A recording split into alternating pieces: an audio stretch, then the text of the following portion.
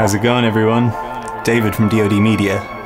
Today I'm going to be showing you how you can build a spaceship in After Effects using nothing but a little bit of advanced compositing. Let's go.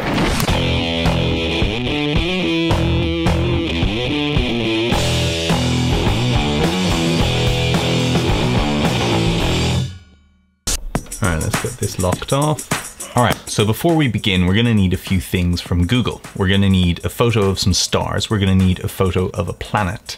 We're gonna need a photo of the International Space Station with the window and maybe one item or two items that we can animate within that scene. So I used a glove in that intro to try and block the light and it kind of worked quite nicely, I think. So let's go ahead and use a glove. So just try and download an image that is high enough resolution that you'll be able to actually, you know, use it in a good quality, but that doesn't look overly photoshopped. You want something that is literally like black with a few dots on it. So let's drop down the tools and go for a bigger size, larger than, let's say four megapixels. All right, we're just gonna download this image by Felix Mittermeier. Felix, I'm using this just for the demonstration. If someone wants to actually use this commercially, they'll get in touch with you. Although it says free for personal and commercial use. No attribution required. So let's just go ahead and use this. Thank you, Felix.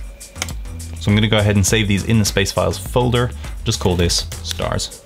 All right, then back to Google Images. We're gonna look for planet Earth.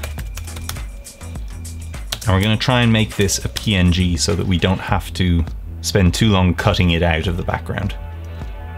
That looks pretty cool. I'm just gonna save that image. Oh, it is a PNG, cool. Call that Earth. All right, then we're gonna need the International Space Station. and we're to look specifically for the window. Now you can use any one of these to be honest, as long as it's high enough resolution and it's sharp enough. You don't want the focus to be on the planet, you want the focus to actually be on the space station itself because we're to be blurring it afterwards in After Effects, but we want it to be sharp when we're not blurring it. That's a Creative Commons one, so let's have a look at this. Yeah, that's nice and sharp. So let's go ahead and save this image as ISS. All right, and then finally, we're just gonna look for a glove as a PNG again so that we don't have to cut it out. That looks pretty good. Storelli Exoshield Gladiator Legend GK Glove Black. Cool. All right, and now we're done with the image search. We can drag all of this into After Effects and start manipulating the files to create a 3D environment. So first off, we're gonna create a composition. I'm just gonna go for an HD composition instead of a 4K comp because otherwise this tutorial is gonna struggle. Right, full HD, let's make it 10 seconds and 24 frames per second. Cool. All right, we'll call it space scene one, just in case you wanna make any other scenes after that. So we're gonna take the stars, we're gonna, ah, those stars are corrupt. Okay, let's, is that file corrupt though? How's that happening? I've just converted the stars to a PNG because there was some weird corruption going on with the JPEG file for some reason, so I just opened up in Photoshop, created a PNG. If you have any corruption issues, just find a different stars file. Alright, dump that down there, lovely stuff. Right click, create a null object, then right click again, create a camera. Straight away, that way we're gonna create a rig. Enable depth of field, and hit OK. Then you're going to parent the camera to the null, turn that into a 3D layer by clicking that box there. And now your camera rig's pretty much set. You can hit P for position and then hold Shift and R to bring up your rotation. And we're going to want to keep the Z rotation. We don't really care about the others. So we're going to hit Shift Alt or Shift Option and remove Y, X and orientation. And that way we just have position and Z rotation. Cool. Just hit keyframes there so that we can easily bring it back up with U in case that disappears for some reason. Okay, so now we're going to turn our stars 3D. We're going to enable motion blur on them, and then we're going to hit position with P, and we're going to drag this all the way back, like really far back, like 20,000 back. In fact, let's just set that to 20,000. Then we're going to hit scale with S, and we're going to scale that back up until it's just a little bit bigger than the screen maybe like maybe like there. So you're getting that extra little bit past the edges. Cool, then we're gonna bring in our planet Earth and put it just above the stars. We'll make that again a 3D layer, enable motion blur, and then hit position and scale, shift scale. And we're gonna move this back to maybe, uh, let's say 15,000, because we don't want it to be at the same distance as the stars, but we do want it to be pretty far away. Now you can see that it has all of this background because it wasn't actually, you know, a PNG with no background. So that's kind of annoying. We're just going to double click this layer, open it up in the layer panel here, and then we're just going to apply a mask to it. So if you come over to the ellipse tool up here, just kind of keep your cursor roughly in the middle there, and we're going to draw out and then hold control or command and shift, and it's going to keep it as a perfect sphere starting from the center. And just draw that roughly to about there. It doesn't matter if it's a tiny, tiny bit outside of those bounds because we're going to feather it and that's actually going to act as an atmosphere around the planet. So hit F on your keyboard, that's going to bring up the feather of that mask and just feather that out nicely to maybe, yeah, let's say 50 pixels. In fact, mine's a little bit too tight to the planet, so I'm going to double tap M to bring up all of the mask properties, and I'm just going to expand that mask a little bit. Now, if you come back to the composition scene one, there you can see your composition. And then you can really kind of fine tune and adjust your mask to fit. All right, so now let's scale up the planet because it's a little bit small there. Cool, and then let's bring it, uh, let's bring it over here because we're gonna want the source of light to be there because that's where that is on the planet. And then you know what, we can just rotate it a little bit like that so that the source of light can be here, which makes sense with how it's shining. All right, now the fun bit, we bring in the International Space Station, we make that a 3D layer, with motion blur enabled and we're going to hit scale and we're going to scale this down until it fits in the window about there. Again, we're going to double click this layer, we're going to zoom out and we're going to come up to the pen tool here. And now what we're going to do is we're going to mask out those windows so that we'll be able to see all of the stars beyond them.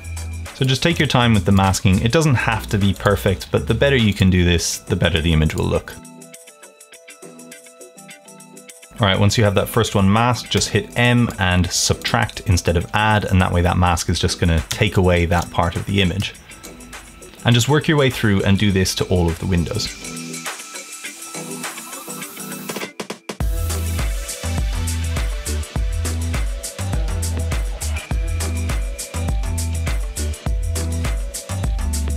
All right, and once you're done masking everything, just come back over to composition and bam, there's your space shuttle. Your view of space through the windows. Lovely.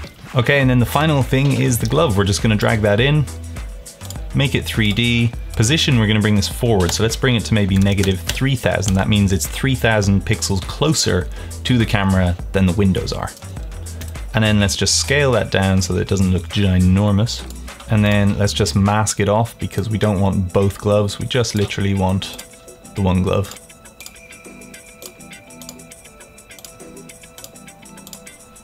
There we go. That's our glove. So first of all, what we're gonna do is animate the camera, then we're gonna set the focus to shift. So because we already positioned the keyframe, what we can do is zoom all the way in and you can see the way the stuff is moving there, it's all with a beautiful parallax. So for now, we're just gonna set the focus on the background. So we're gonna select the camera layer and the stars layer, come up to layer, all the way down to camera here and just set focus distance to layer. That way that's set, we don't have to worry about trying to work in a blurry environment. Now the feathering on that planet's a little bit dark still, so I'm actually gonna bring down the expansion a tiny bit more, um, maybe just to zero and see how that, yeah, that looks much better. All right, so our position is set there. We're gonna come ahead maybe, what, two, let's say three seconds, four seconds even. Let's give it a four second transition and we're just going to bring this backwards into the space station to about there. And we're going to just make this an easy ease in so that that camera comes to a stop there. Lovely. And maybe ease that out as well. Then we're going to add some rotation. So let's set our finishing point there, hit a keyframe, and then come back to the beginning. And let's just rotate that maybe that way by seven degrees. And that way, as this plays and zooms out, it's rotating, the whole environment is rotating because the camera is rotating, and that's coming in through the windows. Lovely. Actually, let's just make this a little bit longer because I realize four seconds is not very long. So let's make that eight seconds. Cool. Now I've just realized that I forgot a layer. We actually need to be able to see that there are windows there because we've masked out part of that image. So right now, there's nothing dividing space and inside. So we need something that the camera can come through to have that kind of effect as it's coming into the space station. So let's just look for glass. In fact, let's look for glass dirt. And that way we can have something that's got a little bit of a texture to it. Again, we want to make this a decent size, let's say larger than 2 megapixels at least. That looks pretty good. So let's take that, that can be one of them. Save image as dirt1, and that can be dirt2. And let's bring those into After Effects and that way we can start positioning them. So we want to position them just behind the ISS, the International Space Station. The reason for that is that the space station is going to act as a mask over those windows, so we don't need to mask anything or change the position or anything like that. It's going to be nice and easy. So again, make it 3D, enable motion blur, and then hit position and scale. Actually, we don't need the position, but the scale, we're going to want to bring this all the way down till it fits right behind that window, like so.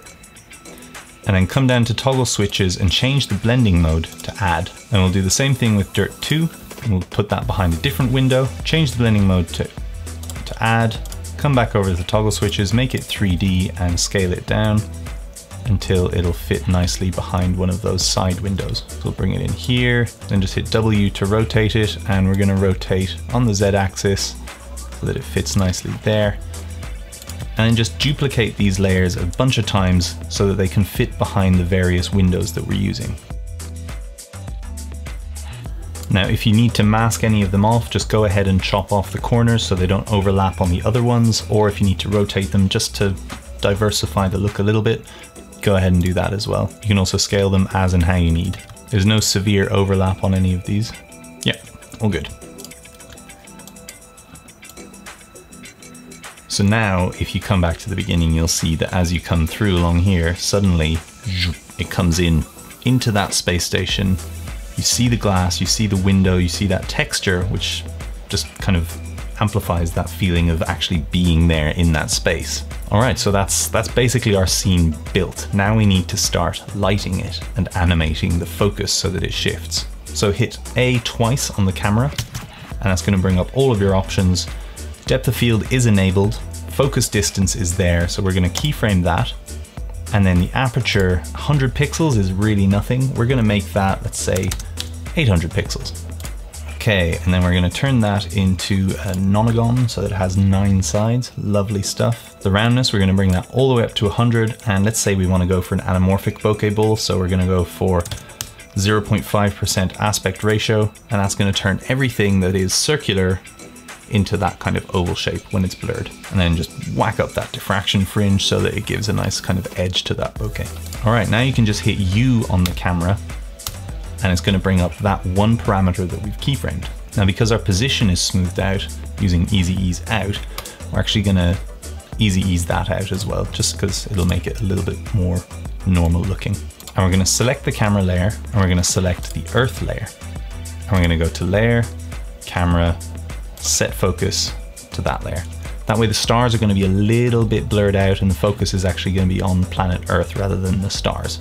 Then as we come zooming out here, let's say about, yeah, about here, we're want to change the focus from there to the space station. So let's say about five seconds there, we're to select camera again, and then we're to select ISS. We're to come to layer, camera, set focus to that layer. Now sometimes you just need to adjust this, it can behave a little bit weirdly. Let's bring this transition a little bit sooner, that way that starts to pull focus there, and let's just bring that so it looks about right there. Cool. Now as it's coming out, pulls focus to the space station, it's going to stay on the space station to about there. So again, let's select camera and space station, layer, camera, set focus. You don't want to link them because otherwise the focus is going to shift along with that layer and it's going to be locked to it. So you're not going to be able to pan that to pan. You're not going to be able to pull that focus to anything else. But by setting the focus like that, you maintain a pretty constant focus point on the item you want until you want to pull focus to the other item, to the next item. So then let's say at the seven second mark, we're gonna want to go to the glove. Then we're gonna select camera and glove and repeat that process one more time. Set focus to there, bam. That way the focus pulls to the glove. And from there until we get to this keyframe here, we're gonna do the same thing. And that way that focus is just gonna maintain at that distance. Again, for some reason it's not completely nailing it, so that's fine. We just need to reset that manually. There we go. Cool, that's the scene built and the focus set. The next step is actually animating the glove because the glove's not just going to be sitting there. Someone's just taking it off in that space station and so it's slowly rotating away. So we're going to hit R on the glove and just hit a keyframe on the Z rotation all the way to the end and rotate that by 15 degrees. Whoop, before we do that, you can see that the anchor point is there. Now a glove's never going to rotate around something, it's always going to rotate on its own center of gravity. So you want to make sure that the anchor point is centered in the glove. So a quick way to do this is just come up to this here, pan behind tool, hold command or control and double click, and it's gonna center that anchor point. If it's not quite centered on the glove, you can then just move it until it looks like it is perfectly centered. Okay, and now again, we can set that keyframe. Let's go for know, 15, uh, 15, let's go for 20. Now this comes back through the window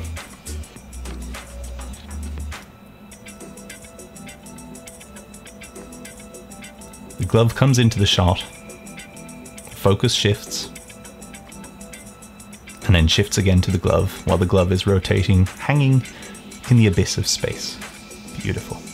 I think that rotation can be a little bit more, to be honest. Let's just go nuts and go for, let's go for 61%. Now what we can do is actually move that glove so that we come through where the thumb and finger join. So that looks pretty nice. All right, and that's all the movement done. Now if you're happy with that, you just have to color correct it, bring it into your scene and make the sound design work to make it feel like it's a tight enclosed space surrounded by nothing. But I'm not quite done with this, to be honest. So first of all, I'm gonna color correct the stars. I'm gonna come up to effects and processes, put in curves, drop some curves on there, and we're just going to drop the brightness of the stars in general because the stars are never that bright in person. All right, then I'm going to copy those curves and on planet Earth, I'm just going to increase the contrast a little bit because it's just, it's not quite punchy enough for me. So make a little S curve there, just like that. Okay, and that way it comes through there and we have all of that. Great, that's already looking a little bit better. But what makes this really, really interesting, what gives it that J.J. Abrams look, is to use optical flares by Video Copilot. If you don't have optical flares, highly recommend you get it. It's fantastic. If you do have optical flares, follow along. So we're going to right click, create a new solid, which is the comp size black cool. We'll call it flares and we'll just dump optical flares on there. We'll change the render mode to on transparent and we'll just set the source somewhere, somewhere around there. Maybe even a little more off camera like there. We'll just come into the options and change the actual preset because the default one's a bit naff. So we'll go for, I don't know, blindness. That's the one that I used in the preview. I'll just drop the brightness a bit because that's way too bright. And now in optical flares, we can set foreground layers. So what we want to set as a foreground layer is the space station and the glove. So drop down layer one, source layer, we'll go for ISS. Layer two, we'll go for glove. And now because we masked the space station and the glove, you need to select masks. You might as well go for effects and masks instead of just masks. Uh, but you need to do that instead of source because otherwise it's looking at the source image, not the masked image. There we go. It's set and it's done. So now that looks like it could be the sun. Cool, cool. And now if we zoom out, you see that it suddenly blocks when it comes to that window. How cool is that? Now the problem is that the sun is not rotating while everything else is rotating. So what we need to do is keyframe that.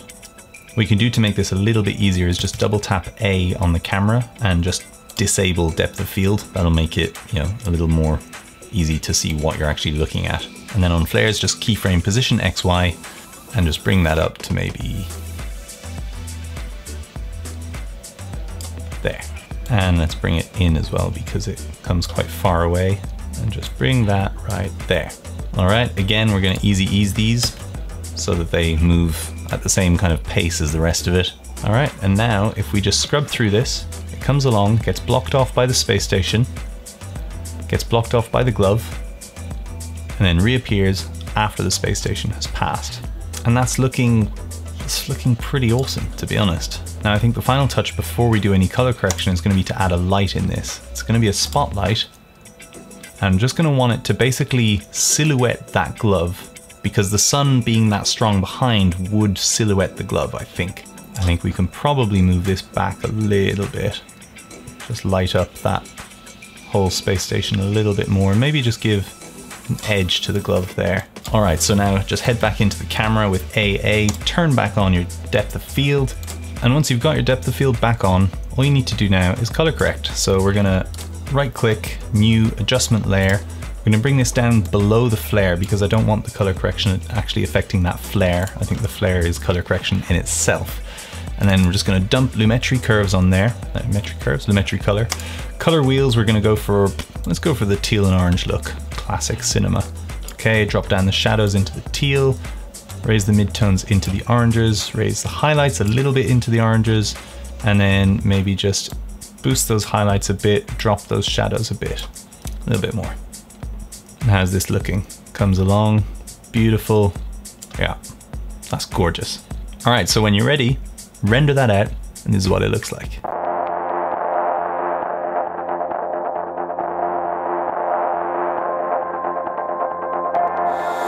Alright, thank you very much for watching. I hope you found this useful. I hope you had fun doing it, and I hope to see you next time. Hit that subscribe button, give it a thumbs up, leave a comment in the comment section to let me know what you thought, and I'll see you next time.